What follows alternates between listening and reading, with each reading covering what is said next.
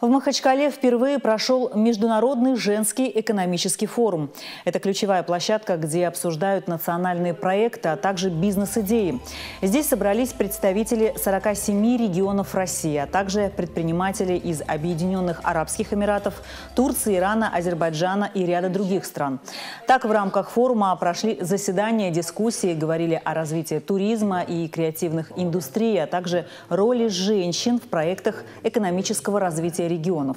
Генеральный директор РГВК «Дагестан» показала гостям из других государств творческие проекты телеканала, такие как «Дагестан туристический», «Полный газ» и другие. У нас у правительства есть большие надежды, что на э, площадках этого форума будут выработаны такие конкретные предложения по дальнейшему развитию всего предпринимательства, в частности и женского предпринимательства. В рамках форума запланированы и выездные сессии в Дербент и Казбековский район. Там для участников проведут экскурсионную программу и покажут достопримечательности региона общение с такими же сильными женщинами, с женщинами-предпринимателями, которые полны, как всегда, каких-то интересных идей, а, позитивно настроены, несмотря на все да, наши события, которые сейчас в стране.